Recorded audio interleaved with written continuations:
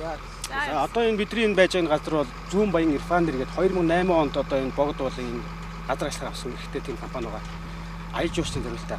А одоо энэ компани авсан газар нь бол одоо бидний байгаа нь барилга байсан газар нь бол хуучин бол голын бургас тэр чигээр голын бургас байсан.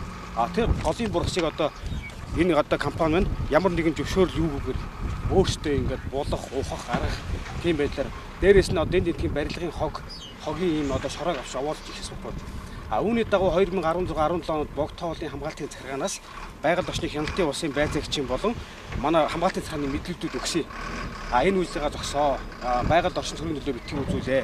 А энэ бас дээрээс нь нийслэлийн ундны усны их усүр голын эрэг, голын онцгой бус болон энгийн хамгаалт хамгаалтын бус байдаг газраа.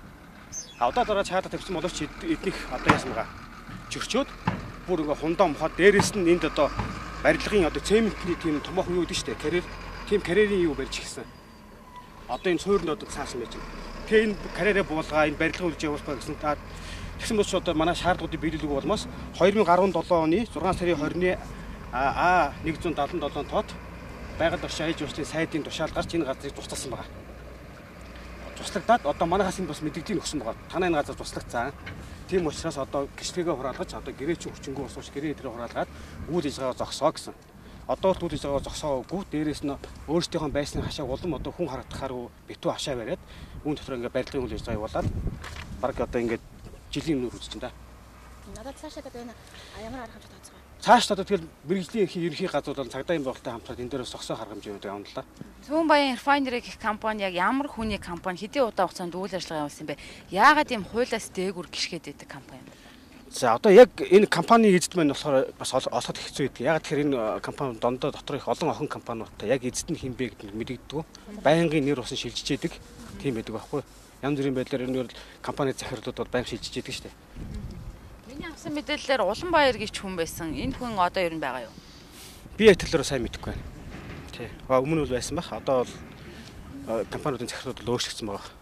Таны авгнаар албан тушаал. Богд тоолын даханцаас цаана цаанаас ямар гэж л дээ. Одоо яг ингээд үйл ажиллагааг дуцалцсан. Аа тэгээд байгаль одоо байгаль орчны хяналтын усын байцаагч болон одоо яамнаас өгсөн чиг үүргийг биелүүлэхгүй байгаа компаниуд дээр ямар нэгэн байдлаар одоо энэ бол ийм байгаа мэй гадар дээр нь бот байдлаар хэвлийнх нь мэдээлэлгөө а тэрний дараа энийг цааш цааш дахиад давхар одоо харгамжууд авъя гэсэн юмээс явж байгаа.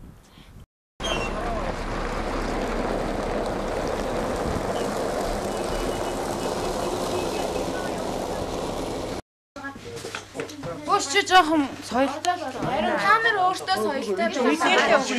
Би ямар усын өнгөч байна уу биш байна уу гар ойлоо болж хэрэгтэй үнтэйгээ л харьцчихдаг уу? Хэрэгтэй үнтэйгээ л харьцчих. Би ажиллаа хүн чи хизээ. Энд хилчээд байна. Ирэхгүй, ир ирэх нь ирэхгүй бид нар мэдэхгүй байна.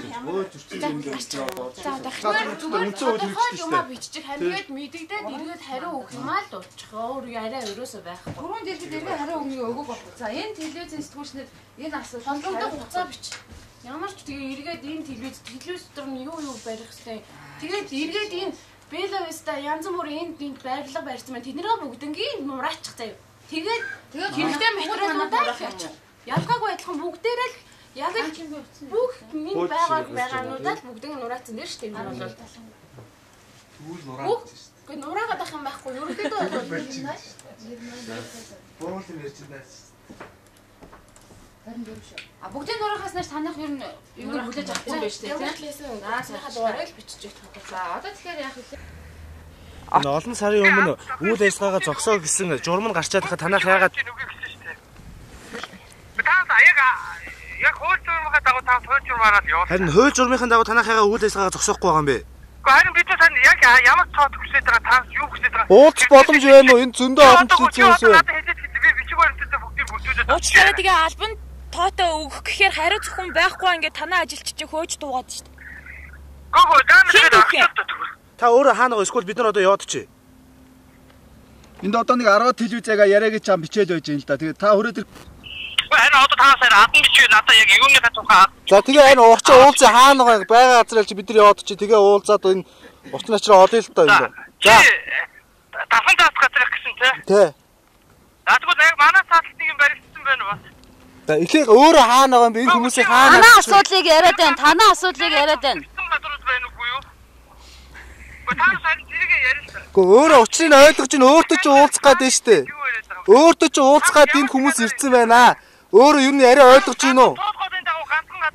Яриа ойлгож чинь үү өөрөө? Яриа ойлгож чинь үү? Өнөөдөр бид нар эхнээс нь үйл ажиллагааг нь зогсоогоод явж байгаа. Гүү ань тэгвэл тэгээд манай цаатар намайг Харин цаатар уулзъя байж бичгээ чи өгье. Тий хөө. Намайг Тэг хин хүчил дөхөө? манай цаана очиж байж байгаа. Намайг зандууд шүү дээ. Манай надад сая бахан бичигсэн. Манай цаана юм барьж байгаа. Чиний цаана дахиад юм барьж байгаа. Намайг уучлаарай, зам. Та бичгээ авъя гэж энэ хаана авчиж өгөх вэ? Наа чи манай албан газар наа чи байгаа. Наа Бид тусаад. нэр- Өө хөөгөөд энэ оруулахгүй байна уучлаарай. Гэхдээ наа би чи чи авчих шүү дээ. Оо авахгүй байна. Авах хүмүүс байгаа. Авахгүй байна.